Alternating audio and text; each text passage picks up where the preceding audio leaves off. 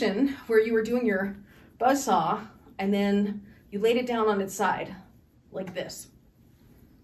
So you're in your you're in your buzz saw here, vertical, but I think overhand. And then I think when we did this, we laid it down on top of our right arm so it was going counterclockwise. This guy, where you turn with it,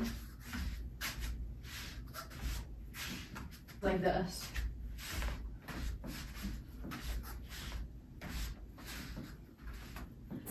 This guy from here, you've done this, and now can you come back to the front into this and this. So we're going back to the combo that we did a long time ago. We're just trying to clean it up and add some style.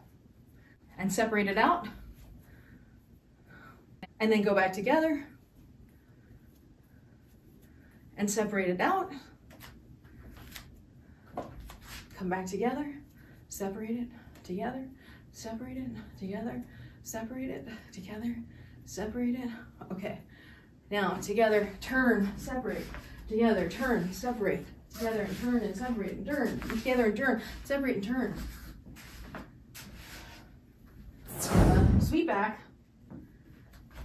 And then we're gonna come up over the top, wrap it, and come into the buzz saw. Then lay it down on the right hand, and then we're gonna turn with it in the buzz saw. Big turn, big turn. And then come into your corkscrew and separate your corkscrew and back together and separate it and together, separate it and together and separate it. And now you're gonna separate it and come together and turn as you do that.